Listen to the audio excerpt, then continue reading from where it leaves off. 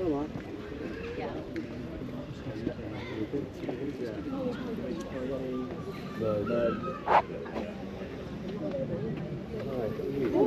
So sorry. Can I? I'm not in am I?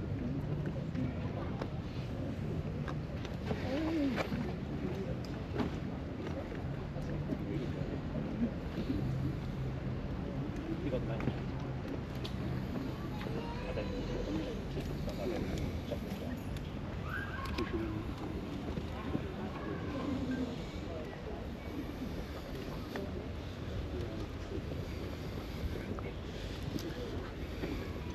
Good afternoon, everybody. You closer? Please, thank you. Yep, that work for everybody?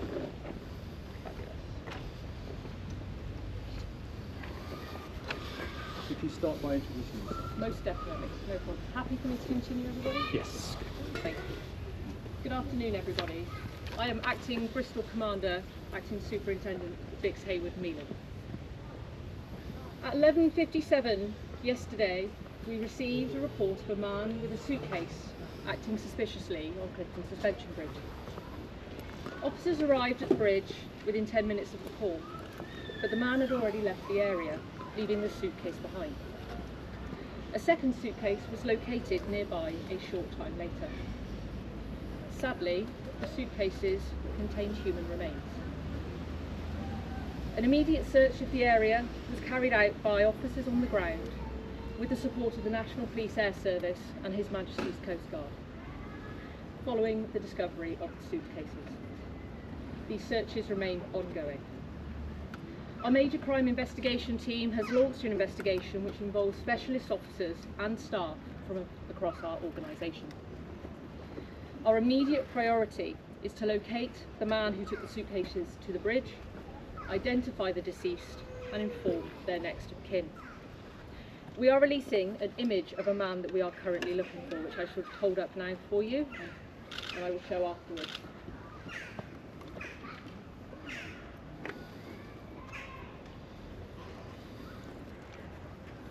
And I shall show this afterwards for you. He is described as black with a beard. He was wearing a black Adidas baseball cap with a white, white motif, a black jacket with a motif on the chest, and black trainers with thick white soles. He is also believed to be wearing, or have been wearing, a gold earring and was carrying a black backpack. Officers are currently working to track his movements through CCTV, and I can confirm that we know he left in the direction of Leigh Woods behind me. At this stage, we are not aware of any current risk he poses to the wider public. However, if anyone sees him, we advise them not to approach him and please do call 999 immediately. A forensic post-mortem examination is currently taking place and whilst we continue to examine the scene, specialist investigators are working around the bridge and the surrounding area. As such, the bridge will remain closed whilst these inquiries are conducted. Initial inquiries have established the man with the suitcases was taken to the bridge in a taxi. This vehicle has been seized and the driver is helping us with our inquiries. This is a very disturbing incident and I fully recognise the concern it will cause for our communities. We currently have an increased presence of officers in the area and I encourage anyone who has any concerns to please do speak with one of the team. As soon as we have any new information that I can share, I will of course provide an update because I know so many unknowns in this situation will cause worry. Anyone with any information, no matter how insignificant you think that it is, please do contact us. There are two processes and ways in which you can get in touch, we are, which we are currently setting up. The first is online through our major incident public portal at mipp.police.uk. Or you can call the incident room direct on the two following numbers 0800 056 0944 or alternatively if you're calling from outside of the UK 0, uh, 0207 158 0010. I'm now happy to take some questions but remind anybody that um, if you do see the individual that we think match the you take matching description, 999 please. Vic, Actually, Commander, can we just- the- Right, Rick, so- what can you tell us about the person who has been found in the suitcases? Gender, age, recent uh, time of death. Is it So at, at this time. Rob, uh, at this time, uh, a forensic post-mortem examination is currently underway, um, so we cannot confirm any information because that is still ongoing. As soon as I have that information, we will make sure that we share it. Is Can it one? Is it one victim? One or vic two uh, people or persons. At this time, I can't confirm because that forensic post-mortem is underway, and we will have that information and share it as soon as we do. Did Uh, the taxi driver pick the pick the man you're interested in up locally, or was he At this, at this stage, we are still working with the taxi driver. He's helping us with our inquiries, and part of the investigation will be to understand that journey. Because a lot of taxis now have CCTV in their And, and uh, I'm sure that that will form part of the investigation. Thank you so much. Um, Ha- ha- have you got any sense of who this person might be? I.e., is anybody missing? Because, for instance, Jack O'Sullivan, potentially have you contacted this family to, So- to see whether or not this might be him? So I understand that the parallels that might be made with, with Jack's case, um, and we would uh, ask anybody to avoid any speculation at this time. What I can confirm is just because of the nature of the incident and the concerns that people may have, and as you've, as you pointed out there, a senior officer has been in contact with Jack's family to inform them of the incident, but I can confirm at this time that no parallels are being actively drawn.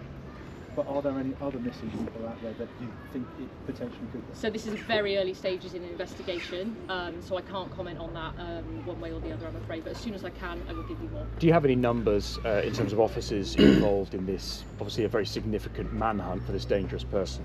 So in terms of specific numbers of officers involved, no, I don't have numbers to hand. However, we've got people from our neighbourhood policing team, who were the officers you saw me speaking to a moment ago, who are providing that reassurance on the scene and talking to individuals.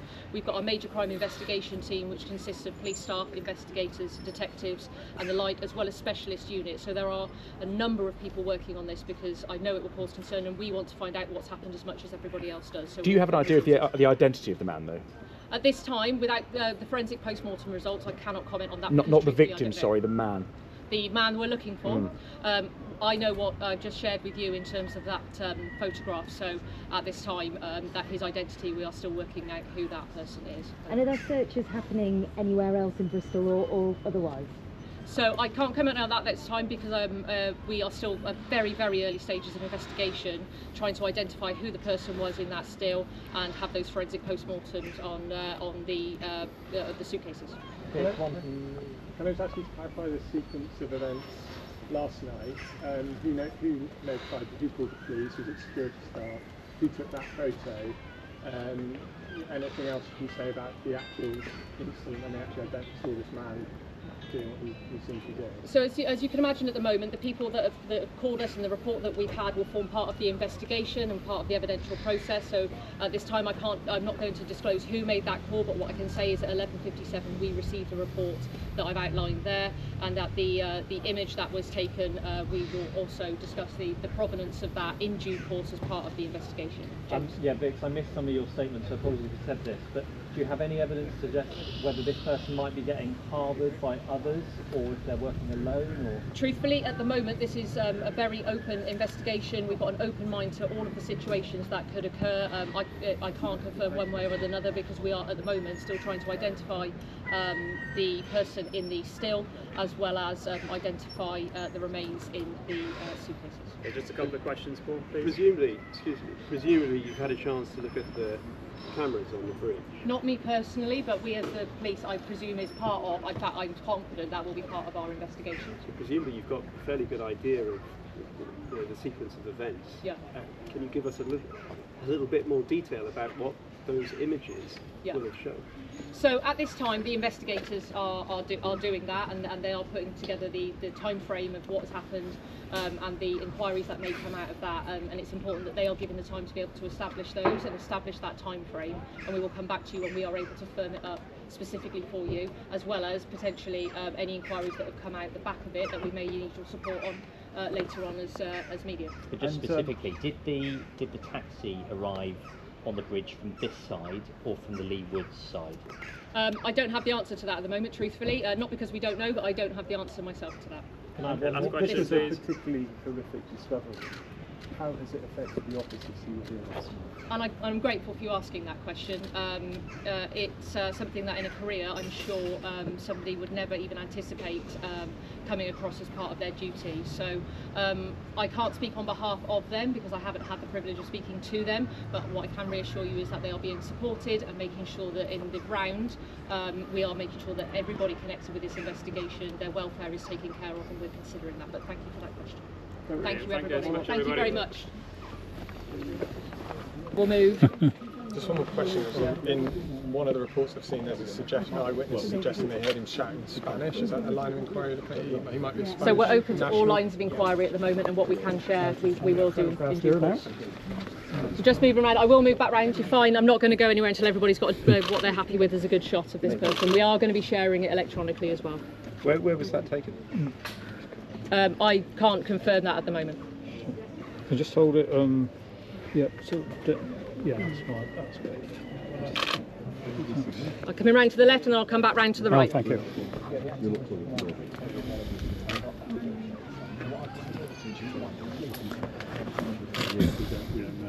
I'm going further left now. Thank you. Looks like chill in the UK. Hang on, it's got your shadow. Hang on, go back there and I'll come round. Got it? Um, I'm going to do one that will take us there. Is that the only photo you have? That we're releasing at this time. Thank you. That's quite a good photograph, though, isn't it? It's all right. Yeah, it is. Don't worry, I'm coming back round to the right team. I think this is going out on email or something. Yes. well. Yeah, there's another photo as well. Very similar. Can you bring it round just a little? Well, he's definitely a wanted man now, isn't he? I'm coming back, I promise, I promise. Right. I just couldn't get it because of the... Have it on this camera, please. I shall indeed. You could comment. You could say why you came down. Only Okay? Last one, and I'm going left team. Perfect. I know you asked about geography earlier. I'm trying to, I know, I'm just trying to get out of the way of that. I'm going to just say no comments. Not allowed. Um, at, at this time, I can confirm. Um, I, I know that the searches that we are focusing on is, is Bristol, but um, I can't definitively say uh, until we understand uh, the individual, the identity of the individual, or confirm the remains. So it's just Bristol at the moment where At you're this the time, search is. in, in the vicinity of, of here. Yeah, Do you think possibly he came in the daytime at all? I can't. I can't comment. I don't know. We're still very much early stages of investigation. Okay. Yeah. Where was that photograph taken? I don't. Uh, You don't I, know? I don't know. I Okay. truthfully don't know. Right. Photograph going once, going twice. Thank you. Cool. Yeah, sure, that's no problem. I'm going to ask her if she wants. Obviously, Preston, I'm local, it's Leigh Woods. What's that? Sorry. Leigh Woods side. This the ICK. Oh, oh. Yeah, oh, yeah, so, yeah, so, So I live- So I don't know what you said. Yeah, it's But Leigh Woods. that happened after that, obviously, because I've the just case is been- already. There's lights over there, isn't there? It's probably in the, in the street lights, I guess. Uh, yeah, there's also double alarm. Uh, so at the moment, acting Bristol Commander. Yeah. Yeah, that's where you went. Right. Happy? Yeah. Let's talk to these Where are you guys from? Uh, independent journalist. Yeah. Good luck, Stuart. Can you go? Thanks, man. Yeah, I just made a little things that I just want to make sure that they're doing. Can I just make sure they get their name right? Yeah. Sorry, I didn't get the image. I was just live. Can I? That's fine. Are you emailing Might, might, might I ask a favour, because my wife has already picked up on it, Melon rather than Melon? Thank you. Um, Thank thank you. you. so much. Uh, it saved me so much uh, earache. Thank you. Yeah, I just want to make sure. The, um, the, the, the remains Yeah. are, are, um, are, are Sorry. being looked at with the forensic Okay. pathologist. Yeah, okay. Yeah. Okay. Okay. Fabulous. Are we leaving? Sam? Um, well, yeah, you can walk back. It's. Have you said, have you said who alerted the police? They're not No, saying. no, No. not at this time. Okay. Let's go. Thank you, everybody. Thank you. Thanks, everyone. Thank you. Do you want a bit of charge? Oh, we've got, well, I've got, uh, I found portable